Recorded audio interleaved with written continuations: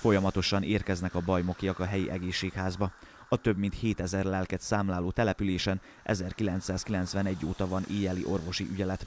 A falu lakói elfogadhatatlannak tartják a szabadkai egészségházak döntését, miszerint a településen megszűnik a délutáni mentőszolgálat és az éjjeli orvosi ügyelet. Nije fair što nemamo noćnog lekara, inače lekari slabe radu i gotovo puno mora čekati. Žalostno što nemamo.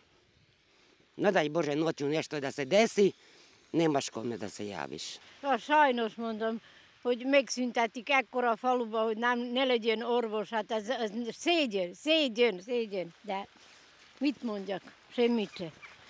A Bajmoki Egészségház bejáratán felirat tájékoztatja a helyeket a változásról, ami szerint az eddig megszokottakkal ellentétben minden este 8 órától reggel 7 óráig nincs orvosi ellátás, valamint az ügyeletet a szabadkai mentőszolgálat látja el nem jó, mert hát figyelünk, elég messze van a város, hogy kijöjjönek a, a mentősök. Nekem is van egy édesanyám, aki 81 éves beteg, ágyba fekvő, szóval szélütött, és nekem elég sokat kellene várni, meg nehéz én megkapni a, a hogy is jákot, a benti szabadkánőket, a hitnát, úgyhogy nem, hogy nekem nem jó. Ez nekünk nem jó így.